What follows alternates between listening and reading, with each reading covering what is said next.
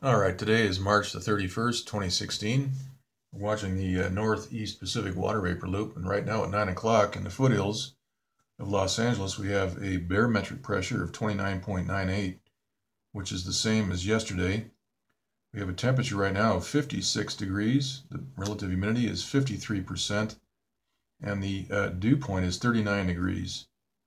All right, so today we had uh, chemtrails in the skies starting about 2 o'clock in the afternoon that is because we have a moisture field wrapping up around on the jet stream right here and right back down through uh, Idaho, Nevada, and into California. So we have an opportunity for cooler, damper weather. We can see all that moisture moving right down into the uh, Southern California area. And those jets are out spraying. Uh, they were out about 2 o'clock in the afternoon onward all the way till past sunset. All right, next we have a, a, uh, square feature right here. This is a, a, uh, we have a phased array radar right here that is focusing heat right on the back side of this uh, front. And we can see that square, that uh, right angle. Actually, this is a square because they're heating the core and that is affecting this entire front. We have almost a straight edge right along on that one side. Just put a CD wrapper right here. We can see that that is nearly perfect straight edge right there. All right, so if we stop the uh,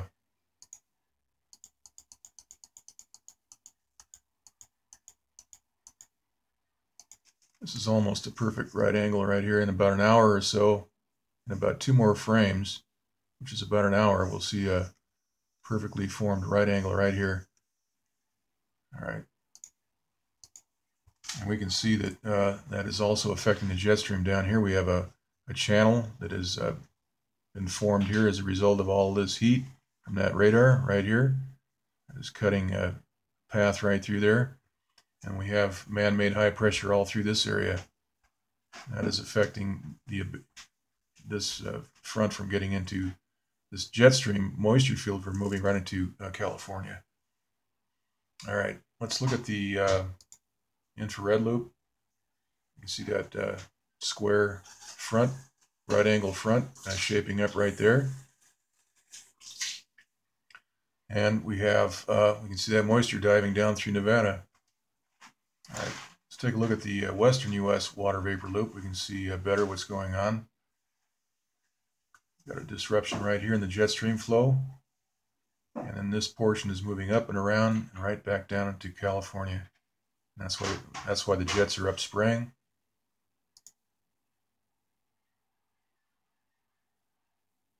Otherwise, we'd be getting a lot of rain. This would be a, a, nice opportunity. This jet stream would be moving straight into California. They've got a blockade here. This is almost two weeks old and high pressure. Let's take a look next at the uh, jet stream. You can see what's happened here. That got a horseshoe pattern that's been disconnected from the main uh, flow. This is what's wrapping around all that moisture moving right into California. This has been cut off here. If you go back and take another look at the uh, big map, we can see that what they've done here is the fact that this is moving around right back into California. When they cut this off here, that will effectively stop the, the flow feeding this segment of the jet stream right here. So they've got they've got this uh, cut off right here you can see that, and that's going that will eventually end the uh, moisture field moving into uh, California. All right, let's take a look at the uh, surface analysis map, and we can see the uh, high pressure offshore is is rebuilt. Yesterday, this was a much much smaller area of high pressure, and today it's up up been pumped up to 1,022 millibar and 1,025 down here, right off uh, Southern California, right here. We have a huge trough indicated, and we have a 979 millibar low. Developing gale indicated right here. We have another trough here, which is moving uh, to the uh, east. Okay.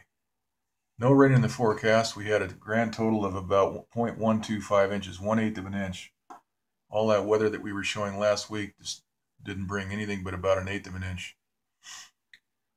All right, let's take a look uh, next at uh, some of these pictures that I have of LA. This is uh, Hollywood in 1953. We notice the sky. There's there's no chemtrails.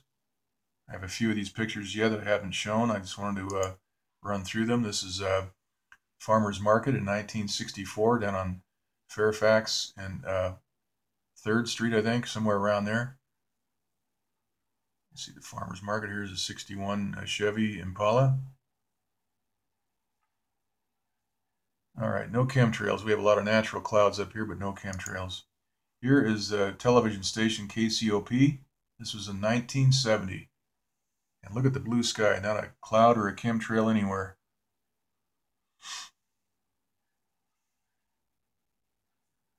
All right.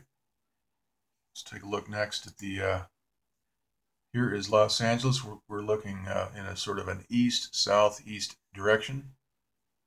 And uh, this was in 1975. And we can see that there's no, no aerosols anywhere. okay, here's another shot of Hollywood in 1950. This is looking north on Highland Avenue. And uh, no chemtrails. And right up here is Franklin, right at that corner. There's a, a giant hotel. I think it's a big Holiday Inn right along here now. Giant 50-story uh, building. All right, here is the Capitol Records building in 1974, November of 1974. This was a promotional uh, photo, I think, for the Beatles.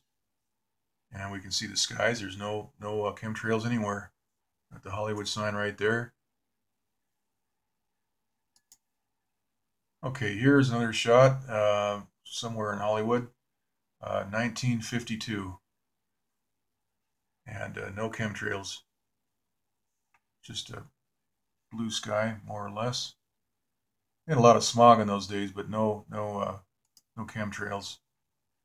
All right, here's a shot of uh, Westwood looking, uh, looking at, towards Westwood, and this was taken in 1961. All right. And here's another shot of Hollywood. This is uh, Sunset Boulevard and uh, Clark Street. And that is the uh, the Whisky, which is a nightclub. Right here we have a Shell gas station. And look at the price, 35.9 cents. 31.9 cents. 1970. All right. Uh, okay, here's another shot uh, in Hollywood, 1950. This was taken and we can see no, no chemtrails anywhere. Here's a shot of the Pantages Theater on Hollywood Boulevard. And sometime in the 1960s, uh, no chemtrails anywhere.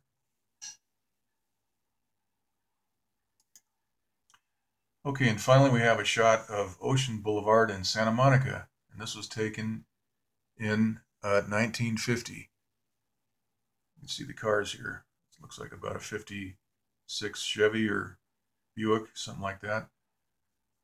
No chemtrails, this nice clear sky. We can see some uh, clouds right offshore here, uh, cumulus clouds right along this line right here.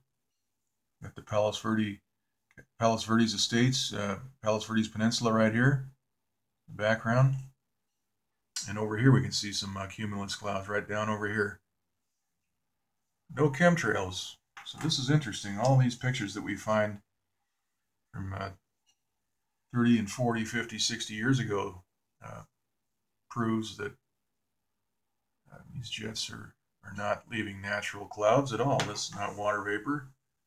It's poisonous chemicals that are lowering the relative humidity and sponging up the atmospheric moisture. Okay, so that's the uh, report for today, the summary. And uh, we will uh, keep an eye on things. Uh, we keep an eye on that uh, right angle front that's shaping up right here. In about an hour, we'll do another video on that if I can get a good shot of it. But uh, tomorrow we can expect to see a lot more aerosols being sprayed because of what's happening here. We have a big horseshoe uh, flow pattern right here. Okay, so that's it.